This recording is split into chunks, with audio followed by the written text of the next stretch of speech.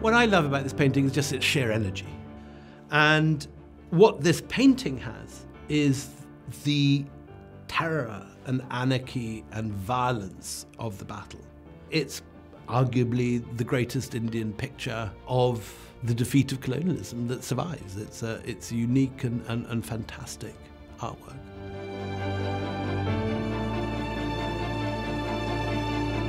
So in the 18th century, India is in anarchy. The Mughal Empire, which has dominated the subcontinent for 200 years, has, has broken into a million pieces. And one of the strongest new states is the Mysore state of Hyder Ali and his son Tipu Sultan.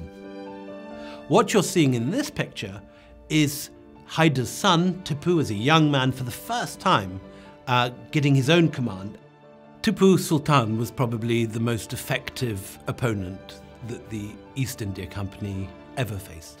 Tipu showed that the Indians could fight back, that they could win, that they could use European tactics against the Europeans and defeat them. The first time that a European army is defeated in India is this battle, Pollilur. It's a fabulous painting. It's full of energy, it's full of life, it's full of action. Hyder Ali is at the top of the picture, an older man sitting on his war elephant surveying the scene. But Tipu is larger than his father, although he's the son, uh, and his father is ultimately in charge. And Tipu is shown very handsome, as beautiful young man, has a flower, has a rose uh, in his hand, which he's sniffing. Uh, and he has on his torso uh, this tiger striped shirt or, or, or pajama, uh, which was the, the mark of, of, of he and his elite troops. And he manages to ambush Colonel William Baillie, who's a Scots Highlander, newly arrived in India. He'd only been in India a few months, with a Highland regiment. Uh, and they arrive in India and immediately get plunged into this terrible situation. The centre of the painting is the British Square.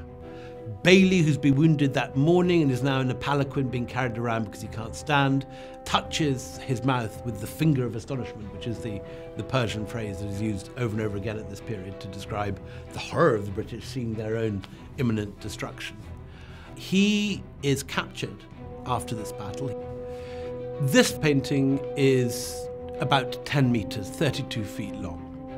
It's spectacular colours, spectacular detail. Every single face you can see, even in these rather sort of gory moments when, for example, someone is decapitated and, and their head flies off and the blood gushes out of their, their, their neck.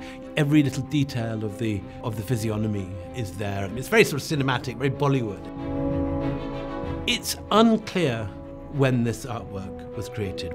Ironically, the painting that we have now may well have been commissioned by Europeans, copying the mural that Tipu put up on his summer palace, Darya Daulat Bagh in Srirangapatnam, uh, near Mysore. This was Tipu's first great victory. And it wasn't just his first great victory, it was really the first time that Indian forces managed to really defeat a major European force in the field. There is simply no better picture of an 18th century battle in India surviving. This is the great masterpiece, and it's also in a near perfect condition. It's, the colours are completely vibrant, the detailing is astonishing. You can just see every single individual face, uh, the horror, the excitement, the bloodlust.